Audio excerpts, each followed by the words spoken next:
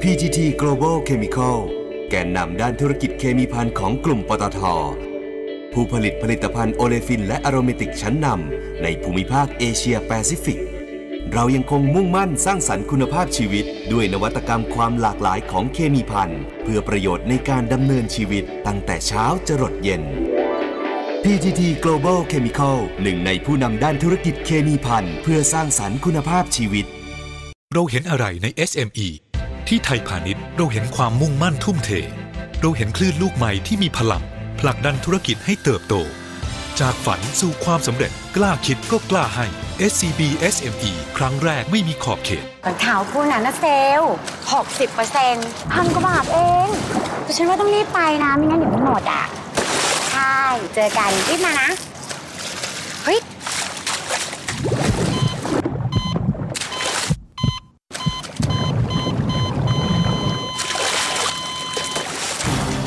การช่วยชีวิตคนง่ายนิดเดียว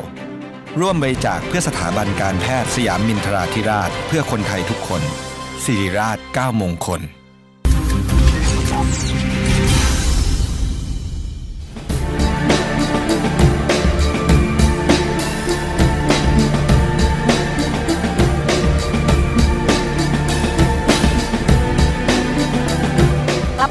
สุดท้ายของรายการค่ะ เรายังอยู่กับดรสุรินทร์พิสุวรรณกับพื้นฐานความเข้าใจเกี่ยวกับ AEC และตอนนี้ก็ได้เวลาที่จะไปฟังบทสรุปจากท่านแล้วค่ะ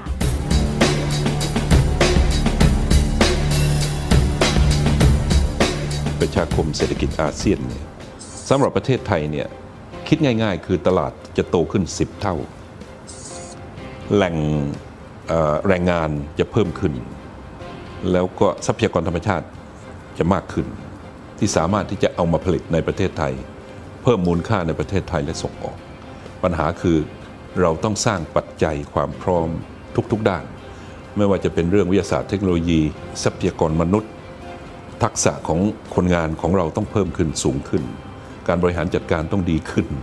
การรั่วไหลคอร์รัปชันต้องลดลงความพยายามที่จะให้คนต่างชาติมาลงทุน มาสร้างงานให้กับเรา จะต้องอำนวยความสะดวกให้เขามากขึ้น นี่คือ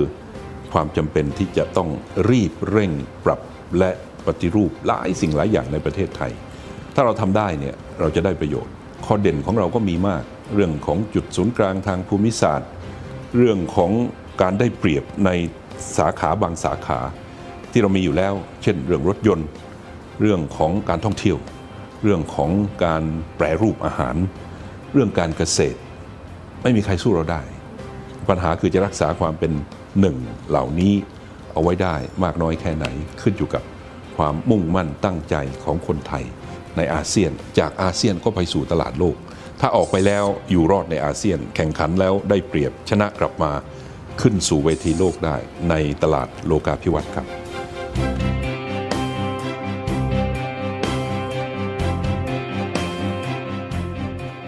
และทั้งหมดนี้ก็คือ AEC Alert โค้งสุดท้ายสู่ประชาคมอาเซียนในสัปดาห์นี้ค่ะ น่าจะทำให้ชมได้เห็นถึงภาพรวมและความสำคัญ ของการรวมกลุ่มเป็นประชาคมอาเซียน รวมทั้งได้เห็นถึงความจำเป็น ที่เราจะต้องรู้จักและเข้าใจ AEC ให้มากยิ่งขึ้นค่ะ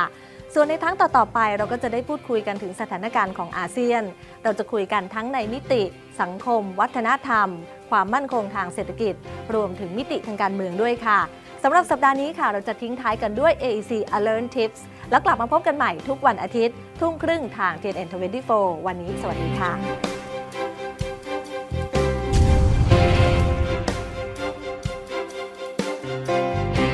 วันนี้คุณสุรินทร์พิศวรรณอดีตเลขาธิการออาเซียนนะครับ ก็ ได้เข้ามาบรรยายให้พวกเราฟังแล้วละครับ ว่าประชาคมอาเซียนมีความสำคัญยังไงนะครับเรารับรู้รับทราบกันแล้วแล้วว่าอาเซียนเกิดขึ้นมาตั้งแต่วันที่ 8 สิงหาคมปีพุทธศักราช 2510 อาเซียนเกิดขึ้นมา 45-46 ปีแล้วนะครับ แล้วก็เรากำลังจะจัดตั้งประชาคมอาเซียนขึ้นอย่างเป็นทางการในวันที่ 31 ธันวาคม ปี 2558 แต่ไม่ใช่ว่าพอเกิดอาเซียนขึ้นอย่างเป็นทางการแล้ว ทุกเรื่องจะจบไป เพราะอาเซียนอยู่กับเรามา 45 ปีแล้ว และจะอยู่กับเราตลอดไปนะครับ ประเทศไทยก็จะอยู่ร่วมกับ 9 ประเทศนี้เป็นพันธมิตรกันเป็นประชาคมเดียวกันตลอดไปนะครับ เพราะฉะนั้นถึงเวลาแล้วแหละที่เราจะต้องเรียนรู้แล้วก็เข้าใจอาเซียนให้มากขึ้น เข้าใจประเทศเพื่อนบ้านให้มากขึ้น ไม่มีคำว่าช้าเกินไป แล้วก็อาเซียนทำไมถึงจะต้องเรียนรู้นะครับ เพราะอาเซียนเองคือสิ่งที่จะเข้ามาเติมเต็มจุดอ่อนของประเทศไทย ประเทศไทยเรามีจุดอ่อนอยู่ที่ตรงไหน อย่างเช่นเราขาดแคลนแรงงานอยู่อาเซียนเข้ามาเติมเต็มตรงนี้ให้ ประเทศไทยอาจจะยังมีทรัพยากรธรรมชาติ ไม่อุดมสมบูรณ์เท่ากับหลาย ๆ ประเทศในอาเซียน อาเซียนจะเข้ามาเติมเต็มตรงนี้ให้ อาเซียนจะกลายเป็นตลาดซึ่งสำคัญของประเทศไทย ในขณะเดียวกันจุดแข็งของประเทศไทยก็จะยิ่งแข็งแกร่งมากขึ้น โดยเฉพาะในเรื่องทำเลที่ตั้งทางภูมิศาสตร์ที่อยู่ในฐานะที่เป็นศูนย์กลางของอาเซียนคำถามที่สำคัญก็คือ เรามีจุดแข็งอยู่แล้ว ทำยังไงเราถึงจะเสริมจุดแข็งของเราให้ได้มากขึ้น เพราะฉะนั้นถึงเวลาแล้วนะครับที่เราจะต้องมาเรียนรู้แล้วก็เตรียมความพร้อม เพื่อรับมือกับประชาคมอาเซียน แล้วก็สิ่งที่กำลังจะเกิดขึ้นในอนาคต